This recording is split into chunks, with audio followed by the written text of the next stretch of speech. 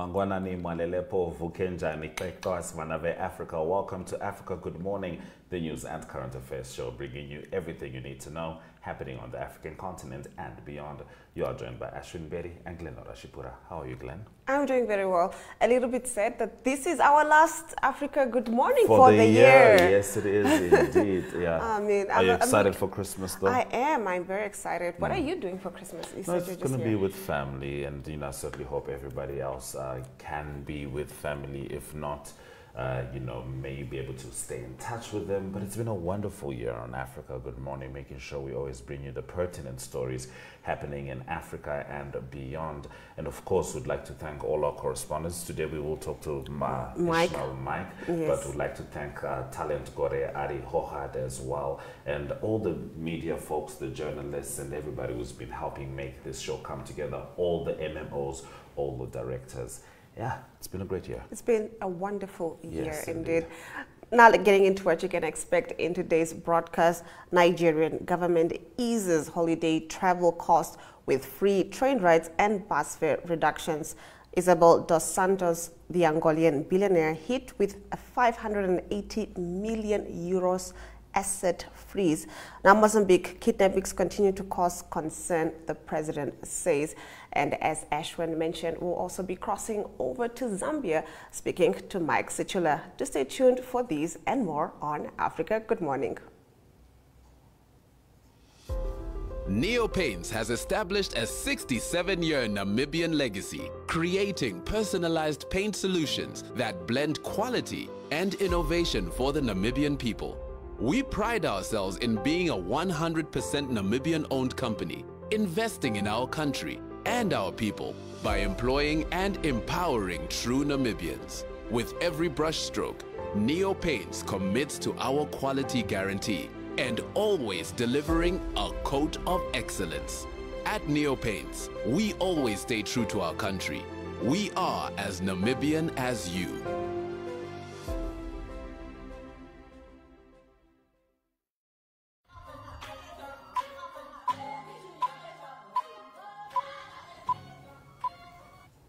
Let's get straight into our top stories. In order to alleviate the financial strain associated with holiday travels, the Nigerian government has introduced measures to provide relief to citizens during the festive season. The announcement made on Wednesday includes free train rides and a 50% reduction in public bus fares across the country. Dele Alake, the Minister of Solid Minerals Development and head of the Interministerial Committee on Presidential Intervention, emphasized that the initiative aims to enable domestic travelers to visit their loved ones and hometowns without stress and the extra burden imposed by the high cost of transport around this period. The move is seen as a gesture to enhance the well-being of citizens during the festive season. The discounted interstate fares and complimentary train rides slated to be in effect from December 21 to January 4 are part of a collaborative effort with companies operating luxury buses across 22 routes nationwide. In our next story, an Angolan billionaire who has been described as Africa's richest woman has lost a high court battle to stop her assets from being frozen. Isabel dos Santos, the daughter of a former president, is being sued by telecoms firm Unitel. The Angolan company is seeking damages of $733 million arising from financial decisions taken by Dos Santos during her time as a director of the firm. Now, Dos Santos says the case is a political vendetta. Critics of Ms. Dos Santos have long claimed she used her position of influence in Angola to enrich herself at the expense of the state, allegations she has strongly refuted. The BBC has reported on leaked documents alleging she made her fortune through corruption and exploiting resources in Angola during her involvement with some of the country's largest companies. Dos Santos said at the time that the claim was based on fake documents and false information. It is, it is a coordinated political attack in coordination with the Angolan government. As of 2020, Ms. Dos Santos was based in London. Unitel had asked London's High Court to grant a worldwide freezing order over her assets. Dos Santos and companies linked to her are already subject to a number of asset freezes around the world. The case against Ms. Dos Santos concerns loans made in 2012 and 2013 of around $400 million from Unitel to another company, Unitel International Holdings. UIH is incorporated in the Netherlands and is owned and controlled by Ms. Dos Santos, according to court documents. From early 2020, UIH stopped paying any interest on the loans, the High Court was told. Now, the president of Mozambique, Filipe Nyusi, acknowledged yesterday in parliament that despite improvements in the fight against crime, there remains a concern about kidnapping crimes that plague the country. Despite these advances, cases of kidnapping continue to concern us, even with a reduction in six compared to 12 cases registered in the same period of 2022, said the head of state in his annual speech on the state of the nation at the Assembly of the Republic in Maputo. Of these cases, four linked to the crime of kidnapping were clarified. 31 individuals were arrested, the same ones involved in previous kidnappings, and a principal was also arrested in the Republic of South Africa as part of judicial cooperation between authorities of the two countries, added Nyusi. For a few weeks now, the city of Maputo has been experiencing a new wave of kidnappings, especially of business people, with two Portuguese Mozambicans being targeted in just over a month, and suspicions of the involvement of agents linked to the police investigation in this type of crime. Moving on, Guinea-Bissau President Umaro Sissoco Embalo has sacked Prime Minister Geraldo Martins just a week after reinstating him to the post. Martins was first appointed Prime Minister in August but lost the position earlier this month when President Embalo dissolved the government following a failed coup attempt on the 1st of December. The president then reappointed Mr. Martins as Prime Minister last week a presidential decree issued on Wednesday announced that Rui Duarte de Barros, who previously served as the West African nation's transitional prime minister between 2012 to 2014, would replace Martins. Last month, there were clashes between two army factions in the capital, Bissau, while President Embalo was away at the UN's COP28 climate conference in Dubai. Mr. Embalo promised serious consequences for the perpetrators of the unrest, which he termed a foiled coup, the second against his leadership in under two years. And the United Nations World Food Programme has temporarily suspended food assistance to some parts of Sudan's state of Gezira as fighting spreads south and east of Sudan's capital, Khartoum, the aid agency said in a statement on Wednesday.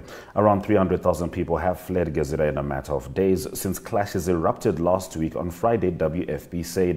WFP has put food deliveries on hold in some locations in Gezira, said Eddie Rowe, WFP's representative and country director in Sudan adding that its teams are working around the clock to provide food aid in locations where it is still possible. His includes thousands of displaced people who have left Wad Madani, Sudan's second largest city and the capital of Al Jazeera state, Jazeera state rather, in recent days as paramilitary rapid support forces advanced. Those have been our top stories on Africa Good Morning. After the break, we swing over to Mike Sichula one last time for the year.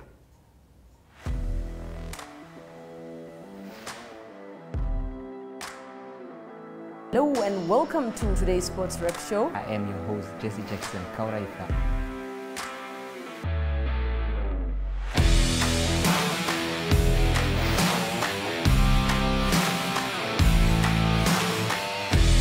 In replay, Namibia, who had won the toss for the first time on this tour. Good day everyone, time for international sports news, starting off with tennis news both on the WTA for women's and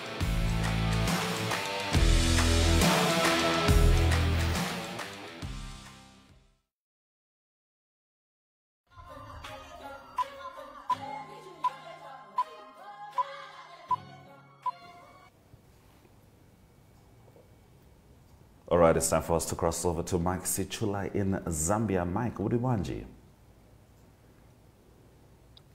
Niribuino Mulibwanji, Africa, good morning to all our viewers. Africa, good morning indeed. So it seems like there's a clash between the Zambian Catholic bishops and uh, the latest directive from the Pope with regards to officiating same-sex marriages. Please tell us more. Yes, uh, this has come uh, from the Zambia, Zambia Conference of Catholic Bishops, uh, which is their leading body here in Zambia. So, according to them, the declaration through Pope Francis is not and should not be considered as an endorsement of same-sex marriages, a statement that the issue read, but rather effective response to the numerous questions about the possibility of impacting a blessing on the same-sex marriages.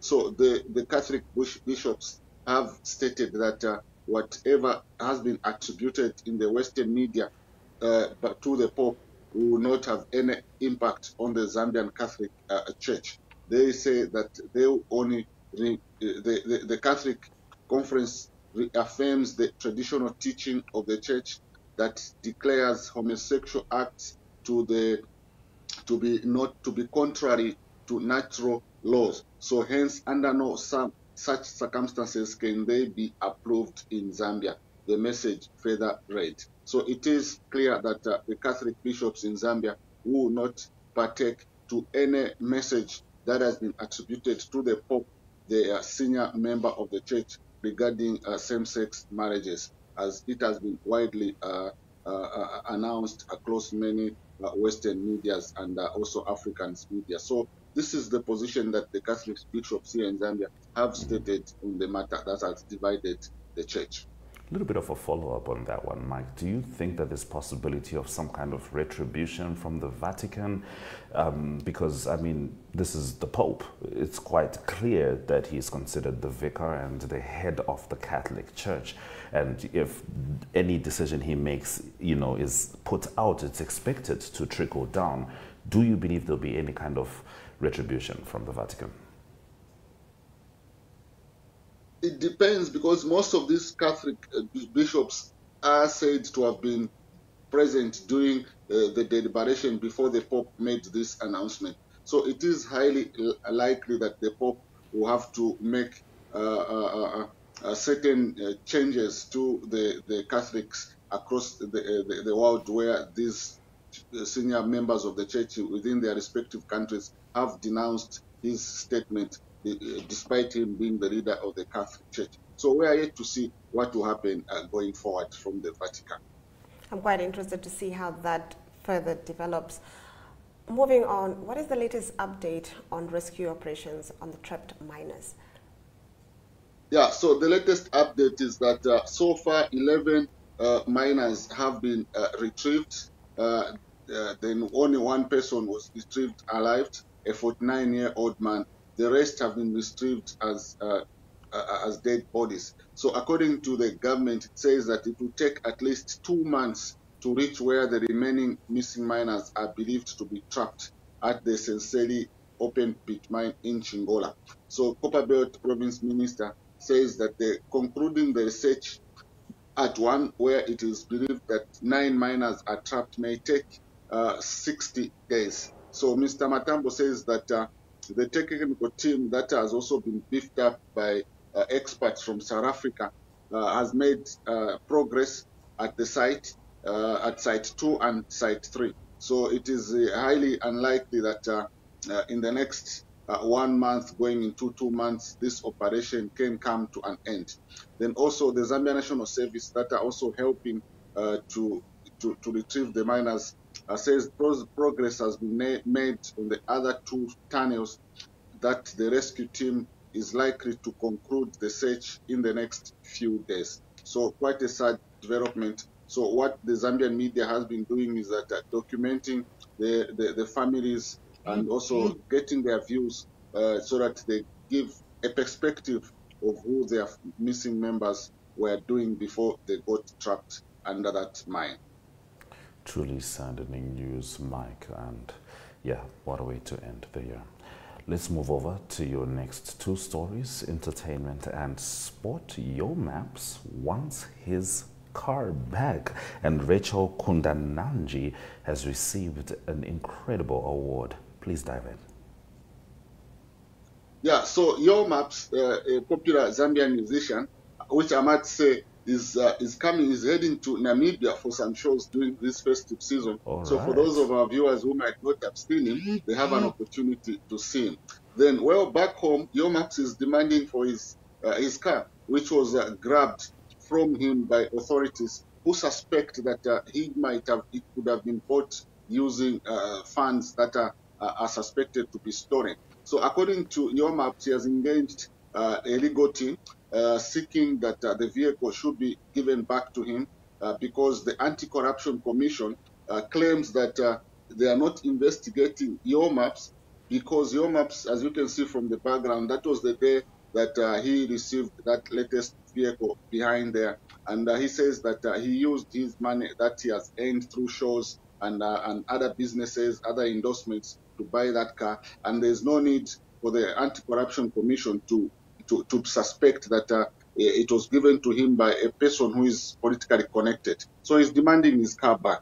Then moving into sports, Zambia's national team forward, Rachel Kundananji, became the first African player ever to top the Goal 50s list, men or women's, in the history of the list. So the Zambian star made an electric 2023, 2022, 2023 season where she scored 25 times in just 29 league games for Madrid CFCC before adding a first ever World Cup goal uh, uh, uh, in July. So she is there uh, in jazz clad jazz number 17, and uh, she's been in prolific form, and uh, she also helped Zambia qualify back to the WAFCON. So mm-hmm. this mm-hmm. achievement is something that a lot of Zambians, including the Football Association, the president, are happy with the achievement of Rachel Kundananji. All right. Thank you very much, Monk, for bringing us the stories from Zambia, not just today, but throughout the year. It's been incredible having you on the show. Yeah, quite uh, uh, uh, a, a, good achievement, you might say, because from January to December, we've been on the show Tuesday and Fridays, giving our viewers what they, they have to hear from Zambia. And I must say that uh, the team uh, back in Namibia has been has been incredible, uh, been very helpful.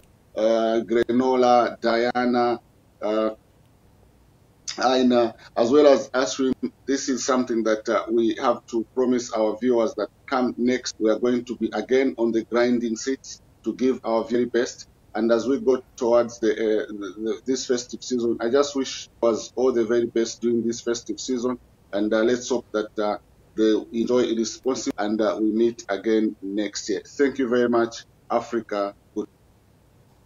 A truly beautiful message from a wonderful man. All right, let's head straight to the weather predictions.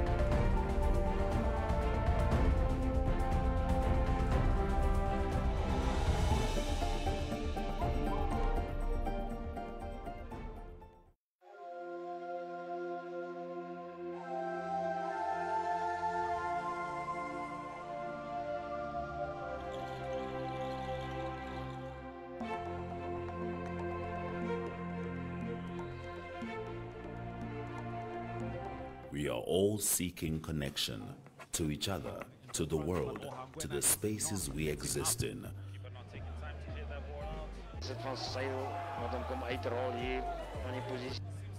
sportsmanship right now from the lads. You might be physically ready, your body is ready, but, but mentally. He has another chance, and it is a goal from Vindel Wys hy sê wie hy is er aan neertrek en daai bal het my grond gepas.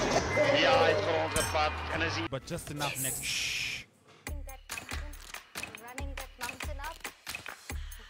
So, we will be doing this for the mountain climber. More advanced, slightly advanced. Do, do, do, do. So is jou trolley reg? Want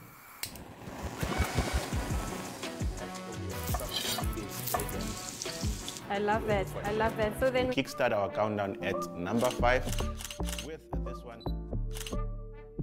Netwerk TV se klets kompas gesels ons nuus van 'n Maandag tot Donderdag. Ons kyk ook na die weer en meer. Stories wat jou raak en stories wat saak maak. They've made a mistake in denying me bail and they've made several other mistakes in many other cases. The channels that teach us something new or reflect our expression. So it goes beyond switching to the right station. It's about choosing the experience that can adorn the present, dressing it with our tastes as we expand our preferences. Because what we are actually connecting to is boundless, limitless human energy. And this is the spirit of NTV.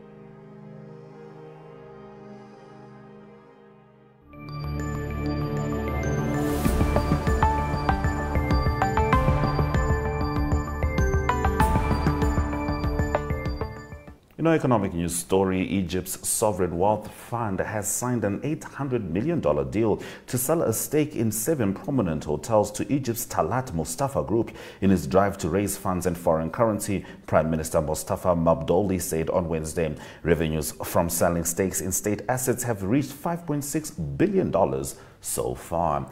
Let's have a look at the economic indicators just before we swing back with the sport.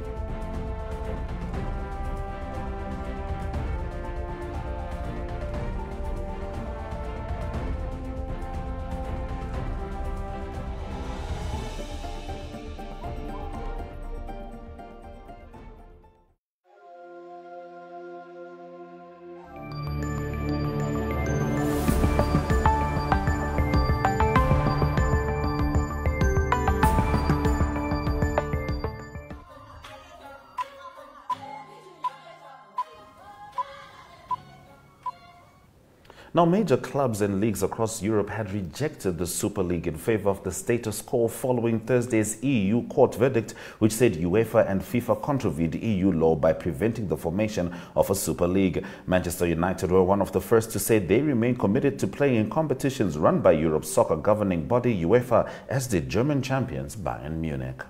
In our next story, the International Skating Union cannot penalize speed skaters if they compete in new money spinning events. The European Union's top court said on Thursday as it upheld earlier orders. The case centered on a complaint by Dutch Olympic speed skaters Mark Tuitert and Niels Kerstholt after ISU threats of a lifetime ban stopped them from competing in a lucrative ice derby events run by a South Korean company. Mm -hmm. All right, those have been our sports stories. We'll take a break and return for the highlights. Neo Paints has established a 67-year Namibian legacy, creating personalized paint solutions that blend quality and innovation for the Namibian people. We pride ourselves in being a 100% Namibian-owned company, investing in our country and our people by employing and empowering true Namibians. With every brushstroke, Neo Paints commits to our quality guarantee and always delivering a coat of excellence. At Neo Paints, we always stay true to our country. We are as Namibian as you.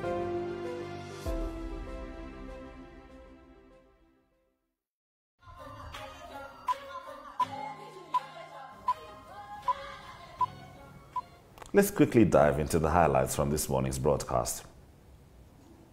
Nigerian government eases holiday travel costs with free train rides and bus fare reductions. Isabel dos Santos, Angolan billionaire hit with 580 million euro asset freeze. Guinea-Bissau president sacks newly appointed prime minister. And with that, we've come to the end of the broadcast. I can't believe this is our last show together for the year. For the year, it's the last Africa Good Morning for the year. We'll certainly be back in two weeks, um, I believe on the 8th of January, and we'll be back doing exactly what we love to do, which is making sure you stay well informed on everything happening on the African continent and beyond. From Glenora Shipura and Ashwin Berry, one last time, Swera Jaganaka.